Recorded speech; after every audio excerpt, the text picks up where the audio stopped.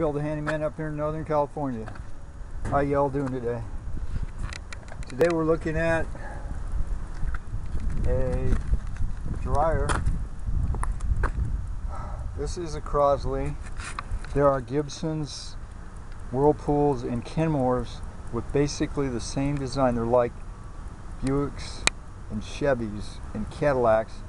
They basically have similar designs. So this one has the lint filter inside.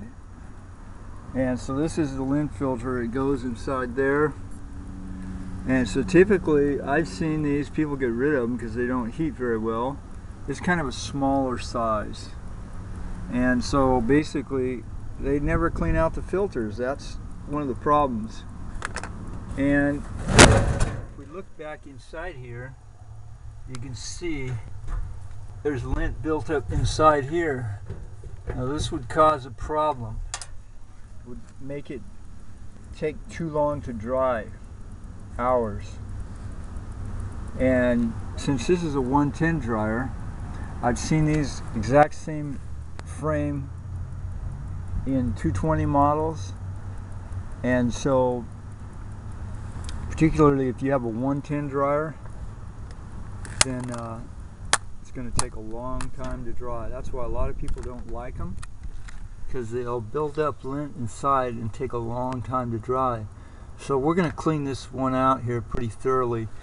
It's coming out pretty easy with my hand right now.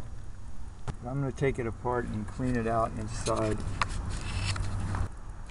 Okay, so once we have the back off, first you want to pull the back off. And so there's these screws here that are on the back. And then this top piece here just pushes forward and comes up. So now we have the dryer exposed. The reason why we have to take that top off is because um, in order to pull the drum out, I don't know if we actually need to do this, but in order to pull the drum out, and if you're putting a belt on, these screws here on the sides have to be removed. And these screws here on the sides have to be removed so you can pull this open, otherwise the barrel won't slide out. So we may not need to do that. We may, we're just gonna take this cowl off back here and clean that out real good. And if we look at the wires, we can see that all the wires look intact. There's no burnt marks anywhere, which is good. Look at the timer and the timer wires all look good. So uh, this machine is actually a working machine. It just has uh, lint built up. And look what we found here. Bingo, jackpot. Anyway, um, so let's take this cowl off and see what it looks like inside there. Okay, so we have the cowl off and have to be careful with wires if you're going to leave them connected. This one is not too bad.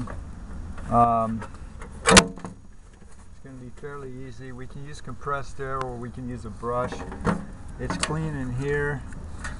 Uh, no, no coins or anything. A lot of times if you have noise in your uh, in your dryer, there could be a coin that has dropped down through that uh, whatever the cowl chute and it's lodged in here. It cause your this fan could make a horrible noise and or it can block the fan from moving and that would cause a problem.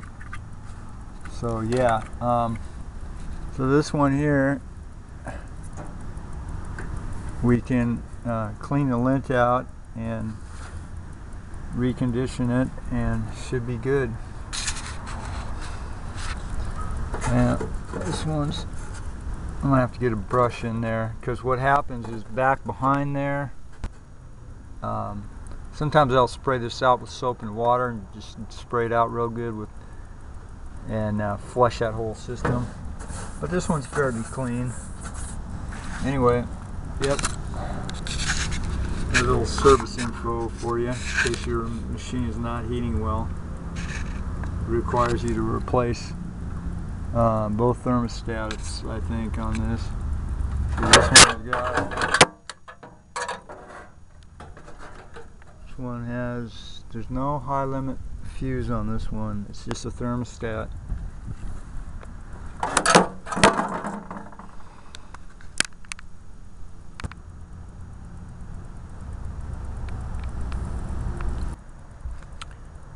Okay, so we got it pretty well cleaned out.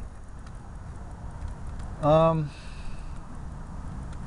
what you want to make sure make sure that it's cleaned out down inside there is the main part.